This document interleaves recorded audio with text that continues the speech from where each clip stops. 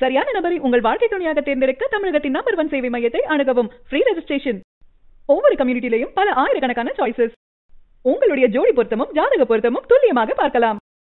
உங்க விருப்பப்படி life partner கிடைக்கணும்னா கீழே இருக்கிற லிங்கை கிளிக் பண்ணுங்க. உடனடியா ஃப்ரீயா ரெஜிஸ்டர் பண்ணுங்க. உலகெங்கும் உள்ள தமிழர்களுக்கு என் பணிவான வணக்கங்கள். டிசம்பர் டூ தௌசண்ட் டுவெண்ட்டி இதோடைய டீட்டெயில் ப்ரிடிக்ஷன்ஸ் தான் இப்போ உங்களோட ஷேர் பண்ண போகிறேன் ஹாரோஸ்கோப் சார்ட்டில் டீட்டெயிலாக ஒரு ஒரு பிளானட் எந்தெந்த டேட்டில் டிரான்சிட் ஆகுது எந்த இடத்துல பொசிஷனாக இருக்குது அதோடைய பலன்கள் என்ன அப்படிங்கிற ஒரு பலன்களை டீட்டெயிலாக உங்களோட நான் ஷேர் பண்ணுறேன் two thousand twenty one new இயர்க்கு உண்டான பலனையும் இது மாதிரி தான் உங்களோட ஷேர் பண்ணியிருக்கேன். அதையும் நீங்கள் பார்க்கலாம். இப்போ detail analysis two thousand twenty December மந்தோடைய பலனை நம்ம பார்ப்போம்.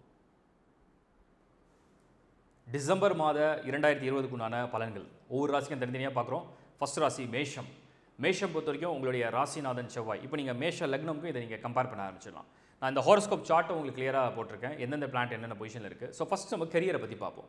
மேஷம் அப்படிங்கிற ராசி அல்லது லக்னத்துக்கு டூ தௌசண்ட் டுவெண்ட்டி டிசம்பரில் கரியர் ஆஸ்பெக்டில் உங்களுடைய ஜாப் உங்களுடைய ப்ரொஃபஷன் உங்களுடைய பிஸ்னஸ் இதெல்லாம் எப்படி போக போகுது? என்ன மாதிரியான ஸ்டைல் இருக்குது? பார்த்தீங்கன்னா செவ்வாய் வந்து உங்களுக்கு டுவெல்த் ஹவுஸில் அதாவது மேஷம்ங்கிறது தான் மேஷம் ராசி இதுக்கு டுவெல்த் ஹவுஸில் உங்களுக்கு மார்ச் பொசிஷன் இருக்குது உங்களுடைய ராசிநாதன் செவ்வாய். இந்த செவ்வாய் வந்து டுவெண்ட்டி ஃபோர்த் ஆஃப் டிசம்பரில் செவ்வாய் வந்து உள்ளே வந்துடும் மேஷமில். ஸோ இருபத்தி நான்காம் தேதி வரையில் செவ்வாய் பன்னிரெண்டாம் இடத்துல கரியரில் ஏதோ ஒரு பிடிப்பு இல்லாமல் நீங்கள் வந்து ஏதோ ஒரு ஃபோக்கஸ் பண்ணலாம் ஒரு பிஸ்னஸில் இருக்கலாம் இல்லை ஜாப் இருக்கலாம் ட்ரை பண்ணிகிட்டே இருப்பீங்க. ஆனால் இன்னும் வந்து ஒரு கன்க்ளூட் ஆகலை. இன்னும் நான் முயற்சி பண்ணிகிட்டே இருக்கேன். ஒரு ரிசல்ட் இல்லை அப்படிங்கிற ஒரு ஸ்டேட்டஸ் தான் டுவெண்ட்டி தேர்ட் வரைக்கும் நமக்கு தெரியுது. டுவெண்ட்டி ஃபோர்த் ஒன்ஸ் மார்ச் உள்ளே என்ட்ரான உடனே உங்களுக்கு என்ன ஆகும்னா ஓகே இது வந்து ஒரு ஃபைன் ஜாப் இல்லை இது ஒரு நல்ல ஒரு பிஸ்னஸ் ஆர்டர் கிடச்சிருக்கு. ஒரு கான்ட்ராக்ட் நமக்கு ரெனியூவல் வந்திருக்கு. அந்த மாதிரியான ஒரு ஒரு உங்களுடைய ப்ரொஃபஷனல் லைஃப் உங்களுடைய கரியர் லைஃப்பை பொறுத்த வரைக்கும் ஒரு குட் ஒரு நியூஸ் ஆர் குட் ஒரு ஸ்டேட்டஸ் அப்படிங்கிறத நீங்கள் டுவெண்ட்டி ஃபோர்த் ஆஃப் டிசம்பர்லேருந்து எதிர்பார்க்கலாம். என்ன காரணம்னா இந்த மேஷம்லேருந்து நீங்கள் டென்த் ஹவுஸை ஃபோக்கஸ் பண்ணிங்கன்னா குரு சனி. ஸோ பத்தில் குரு பத்தில் சனி ரெண்டு பிளான்ட்டுமே ஒன்றா இருக்குது உங்களுடைய கரியர் பிளான்ட் வந்து சனி குருவோட இணைஞ்சிருக்கு. Lord of nine and ten வந்து உங்களுக்கு டென்த் ஹவுஸில் கன்ஜெக்ஷன் ஆயிருக்கு. ஸோ இதெல்லாம் என்ன காமிக்குதுன்னா உங்களுக்கு இடம் மாற்றம் ஊர் மாற்றம் வேலையில் மாற்றம் முயற்சிகளில் வெற்றி இல்லை ஒரு ஒரு திருப்பம் லைஃப்பில் வந்து ஒரு திருப்பம் அப்படிங்கிறதெல்லாம் இந்த இந்த கன்ஜெக்ஷன் குரு அண்ட் சனியுடைய கன்ஜெக்ஷன் வந்து நமக்கு வந்து ப்ரூவ் பண்ணுது. இதுதான் மேஷ் நமக்கு வந்து கரியரை பற்றின ஒரு பலனாக இருக்குது இதுக்கடுத்து நம்ம பார்க்குறது வந்து உங்களுடைய மேரேஜ் லைஃப் இல்லைனா திருமண பொருத்தங்கள் இல்லை திருமணத்துக்கு உண்டான முயற்சிகள்லாம் எப்படி இருக்குது ஃபேமிலி லைஃப் எப்படி கொண்டு போகும் அப்படின்றத பார்ப்போம். மேஷம்க்கு செகண்ட் ஹவுஸில் ராகு இது கிட்டத்தட்ட நெக்ஸ்ட் ஒரு ஒன் அண்ட் ஆஃப் இயர்ஸ் இருக்கும். ஸோ ராகு செகண்ட் ஹவுஸில் இருந்ததுன்னா சின்ன சின்ன குழப்பங்கள் இருக்குன்னு அர்த்தம். குரு பார்க்க அந்த ராகுவுடைய குழப்பங்கள் நிவர்த்தி பண்ணணும் அர்த்தம். இப்போ குருவுடைய பார்வை ராகு மேலே விழும். டிசம்பர் மந்த்தை பொறுத்த வரைக்கும் இந்த குருவுடைய ஐந்தாம் பார்வை ராகு மேலே விழும்பொழுது குடும்பத்தில் உள்ள குழப்பங்கள் அல்லது சச்சரவுகள் சலசலப்புகள்லாம் நீங்கும் உண்டாகும் நீங்கும் அப்படின்னு அர்த்தம். அடுத்தது ஒரு ஒரு வரன் பார்க்குறீங்க. கல்யாணம் நடக்கணும். கல்யாணம் எப்போ நடக்கும்? இந்த டிசம்பர் மாதத்தில் அது ஃபேவராக இருக்கா குருவுடைய பார்வை செகண்ட் ஹவுஸில் இருக்கிறதுனால ராகு செகண்ட் ஹவுஸில் இருக்கும்போது சிறு தடங்கள் குருவுடைய பார்வை ரெண்டில் இருக்கிறதுனால திருமண பேச்சுகள் நடக்கிற வாய்ப்பு உண்டு. இதில் நம்ம இன்னொரு முக்கியமான விஷயம் பார்க்குறது என்னென்னா வாழ்க்கை துணை சம்மந்தப்பட்ட விஷயங்களுக்கு செவன்த் ஹவுஸை பார்க்கணும். இப்போ மேஷம்க்கு ஏழாவது வீடு உங்களுக்கு துலாம். துலாம் தான் உங்களுடைய கலஸ்திர வீடுன்னு சொல்கிறோம் இந்த ஏழில் வந்து சுக்ரன் தான் அந்த வீட்டுக்கு அதிபன். இந்த ஏழாவது அதாவது துலாமுக்கு அதிபன் வந்து சுக்ரன் மந்தோட பிகினிங்கில் அந்த சுக்ரன் இங்கே தான் இருக்கார் மூலத்திரிக்கோண சுக்ரன் பவர்ஃபுல்லான சுக்ரன் சுக்ரனுடைய பார்வை வந்து மேஷமில் இருக்குது ஸோ சுக்ரன் பார்வை மேஷமில் இருந்தால் இந்த திருமண பேச்சுகள் சுப பேச்சுகள்லாம் ஒரு சுமூகமான முடிவை கொண்டு வரும். ஒரு பக்கம் குருவுடைய பார்வை குடும்பஸ்தானம் சுக்ரனுடைய பார்வை உங்களுடைய ராசி மேலே. ரெண்டுமே பாசிட்டிவ் சுக்ரன் என்ன தேதி வரையில் இருக்கார் பார்த்தீங்கன்னா லெவன்த் ஆஃப் டிசம்பர் வரைக்கும் தான் இந்த சுக்ரன் இங்கே இருக்கார். பதினோராம் தேதி சுக்ரன் இடம் பெயர்ந்து விருச்சிகத்தை அடைவார். ஸோ டிசம்பரில் உங்களுக்கு ஃபஸ்ட் ஆஃபில் வந்து இந்த லெவன்த் வரைக்கும் பாசிட்டிவான பேச்சுவார்த்தைகள் நடக்க நேரம் நல்லா இருக்குது உங்களுடைய குடும்ப வாழ்க்கை பொறுத்த வரைக்கும். அடுத்தது உங்களுடைய எஜுகேஷன் இப்போ ஸ்டூடெண்ட்ஸ் மாணவர்களுக்கு வந்து கல்வி திட்டங்கள் இருக்குது நெக்ஸ்ட் இயர் ஒரு பிளான் இருக்குது நம்ம என்ன பண்ணலாம்? அதுக்கெலாம் எப்படி இருக்குன்னு பார்த்தீங்கன்னா சூரியன் புதன் வந்து சேர்ந்துருக்கு. சூரியன் புதன் சேர்ந்திருந்தால் புத ஆதித்ய யோகம் குருவுடைய பார்வை வந்து உங்களுக்கு நான்காம் இடத்துல விழுது. நான்காம் இடம் மேஷத்துக்கு நான்காம் இடம் வந்து கடகம். கடகத்தில் வந்து குருவுடைய பார்வை இருந்தால் எஜுகேஷனுக்கு வந்து ஒரு நல்ல ஒரு ரிசல்ட்டை கொடுக்க போகுதுன்னு அர்த்தம். நல்ல பிளான் உங்களுக்கு கிடைக்க போகுதுன்னு அர்த்தம். சூரியன் புதன் சேர்ந்திருந்தாலும் புதன் ஆதித்ய யோகம் அதுவும் செயல்படும்.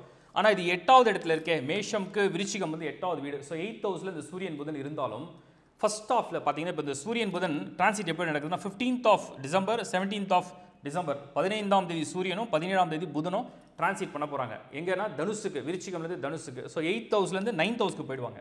எட்டுலேருந்து ஒன்பதாம் இடத்துக்கு போகும்போது மேஷம்க்கு இது எட்டு இது ஒன்பது. அப்போ உங்களுக்கு என்ன ஆகும்னா அந்த டிரான்சிட் வந்து ஒரு ஆடிட் அட்வான்டேஜாக இருக்கும். ஸோ தெளிவான முடிவுகள் உங்களுடைய எஜுகேஷன் நீங்கள் எடுக்க முடியும். ஸோ இந்த மாதிரியான ஒரு டீட்டெயில் அனாலிசிஸ் தான் நான் எல்லா மந்த்தும் கொடுத்துட்ருக்கேன். ஓகே எஜுகேஷனுக்கு அப்புறம் நம்ம வந்து என்ன பார்க்குறோம் அப்படின்னா ஹெல்த் ஆரோக்கியம் எப்படி இருக்கும்? நல்லா இருக்குமா? இல்லை ஏன்னா ராகு கேது ரெண்டு இடத்துல இருக்கே. ஏதாவது தொல்லை கொடுக்குமா? எயித் ஹவுஸில் உங்களுக்கு கேது. அன்எக்ஸ்பெக்டடாக ஏதாவது சின்ன சின்ன ஹெல்த் இஷ்யூஸ் வரதுக்கு சான்சஸ் இருக்குது ஆனால் அது ஃபர்ஸ்ட் ஆஃப் வரைக்கும் தான். ஏன்னா செகண்ட் ஆஃபில் இங்கே வந்து சன் மர்க்குரி அதாவது சூரியனும் புதனும் இடத்த கிளியர் பண்ணுறாங்க அதனால் அந்த பிரச்சனைகள் இல்லை. ஃபிஃப்த் ஹவுஸ் உங்களுக்கு வந்து எம்டி பாக்ஸ் ஃப்ரீ அதுவும் பெரிய தொல்லைகள் கிடையாது. ஸோ ஓவராலாக மேஷத்தை பொறுத்த வரைக்கும் உங்களுடைய career family education health plus உங்களுடைய ஃபினான்ஷியல் ஸ்டேட்டஸ் எப்படி இருக்கும் பார்த்தீங்கன்னா குரு பார்வை செகண்ட் ஹவுஸில் ராகு மேலே இருக்குது ராகு செகண்ட் ஹவுஸில் இருக்குது income wise money wise earning wise உங்களுக்கு வந்து ஒரு பாசிட்டிவான ஒரு ஸ்டேட்டஸ் தான் அது இண்டிகேட் பண்ணிகிட்டு இருக்கு. இந்த சுக்ரன் மாறதுனால ஒரே ஒரு எச்சரிக்கை தான் இந்த மேஷ ராசியை பொறுத்த வரைக்கும். சுக்ரன் லெவன்த் அன்னைக்கு உங்களுக்கு எயிட் தௌசண்ட் ரீச் பண்ணும்போது கேதுவோட சுக்ரன் வந்து கன்ஜெக்ஷன் ஆகும். அந்த காலகட்டத்தில் உங்களுடைய வாழ்க்கை துணைக்கு சில உடல் நல குறைவுகள் ஏற்படுறதுக்கு வாய்ப்பு இருக்குது அதே மாதிரி கணவன் மனைவியிலேயே தேவையற்ற வாக்குவாதங்கள் நடக்கிறதுக்கும் வாய்ப்பு இருக்குது அதெல்லாம் நீங்கள் அவாய்ட் பண்ணிக்கலாம். அந்த டேட்ஸ்லாம் நோட் பண்ணிவிட்டு இதெல்லாம் பெட்டராக நம்ம இதுக்கு மேலே இந்த வாதம் பண்ணக்கூடாது. தேவையில்லாத விஷயங்களை நம்ம ஆர்கியூ பண்ணக்கூடாதுன்னு விட்டுட்டிங்கன்னா சுமூகமாக போகும். ஸோ மேஷம் டிசம்பர் மாதத்தை பொறுத்த வரைக்கும் திட்டங்கள் தெளிவாக இருக்கும். ஃபர்ஸ்ட் ஆஃபை விட செகண்ட் ஆஃப் இன்னும் பெட்டராக இருக்குது ஃபஸ்ட் ஆஃப் மேரேஜுக்கு மட்டும் ரொம்ப ஃபேவராக இருக்குது என்னுடைய மனமார்ந்த வாழ்த்துக்கள். இப்போ நீங்கள் பார்த்தது டீட்டெயில் அனாலிசிஸ் ஒரு மாதத்துடைய அந்த கிரக பலன்கள் எப்படியெல்லாம் டிரான்ஸ்லேட் ஆகுது? அதோடைய பலன்கள் எப்படி கொடுக்க போகுது உங்கள் லக்னம்க்கு எப்படி வேலை செய்யும் ராசிக்கு எப்படி வேலை செய்யுன்றதை நான் ஷேர் பண்ணியிருக்கேன். இப்போது உங்கள் பர்சனல் சார்ட்டை நீங்கள் இதோட கம்பேர் பண்ணும்போது தான் உங்களுக்கு அந்த அண்டர்ஸ்டாண்டிங் பெட்டராக இருக்கும். அப்போது நீங்கள் பர்சனல் ஹாரோஸ்கோப்பை கம்பேர் பண்ணுறதுக்கு தான் உங்கள் ஹாரோஸ்கோப்பை டவுன்லோட் பண்ணிக்கிங்கன்னு சொல்லியிருக்கேன். ப்ளஸ் உங்களுக்கு வந்து இதையும் தவிர அஸ்ட்ராலஜி கன்சல்டேஷன் ஏன்னா டூ தௌசண்ட் டுவெண்ட்டி ஒன் வரப்போகுது. ஸோ புதிய முடிவுகள் எடுக்கணும். வாழ்க்கையில் கரியரை பற்றின ஒரு டிசிஷன் எடுக்கணும். இல்லை family life marriage life education உங்களுடைய ஹெல்த் உங்களுடைய பேரண்ட்ஸ் உங்களுடைய ப்ராப்பர்ட்டி ஆன்செஸ்டர்ஸ் ப்ராப்பர்ட்டி இல்லைனா ஒரு ப்ராப்பர்ட்டி வாங்குற ஐடியா இருக்குது கார் வாங்குற ஐடியா இருக்குது ஸோ வெஹிக்கல்லாம் இப்போ நம்ம எடுக்கலாமா? நம்மளோட நேரம் உண்மையிலேயே டூ தௌசண்ட் டுவெண்ட்டி ஒனில் பெட்டராக இருக்குமா? இல்லை வேறு ஏதாவது அதில் வந்து ஒரு ஒரு இண்டிகேஷன்ஸ் இருக்கா? எதுலையாவது ரொம்ப கேர்ஃபுல்லாக இருக்கணுமா? இல்லை தைரியமாக ஏதாவது நம்ம ஃப்ரண்ட் ஃபார்வர்டில் பண்ண முடியுமா? இப்படிங்கிற ப்ரிடிக்ஷன் உங்கள் ஹாரோஸ்கோப் அதாவது உங்களுடைய பர்சனல் ஹாரோஸ்கோப்புக்கு அந்த மாதிரி ப்ரிடிக்ஷன்ஸ் வேணும்னு நினச்சிங்கன்னா டிஸ்பிளேல தெரிகிற நம்பருக்கு நீங்கள் அது நியூமராலஜிக்காக இல்லை வாஸ்து ஆர் ஃபார் ஆஸ்ட்ராலஜி இல்லை மேரேஜ் மேட்சிங் இல்லை உங்களோட திருமணம் பற்றின சில ரகசியங்கள் தெரியணும். ஏன்னா அதில் நிறைய இஷ்யூஸ் இருக்குது அதை பற்றி இன்னும் டீட்டெயிலாக பார்க்கணும். அப்படிங்கிற மாதிரி ஏதாவது கொஷின்ஸ் இருந்ததுன்னா நீங்கள் டிஸ்பிளே தெரிய நம்பருக்கு வாட்ஸ்அப்பில் உங்களுடைய மெசேஜை ஷேர் பண்ணலாம். காலும் பண்ணலாம். அப்பாயின்மெண்ட் ஃபிக்ஸ் பண்ணி என்னோட நீங்கள் பேச முடியும்.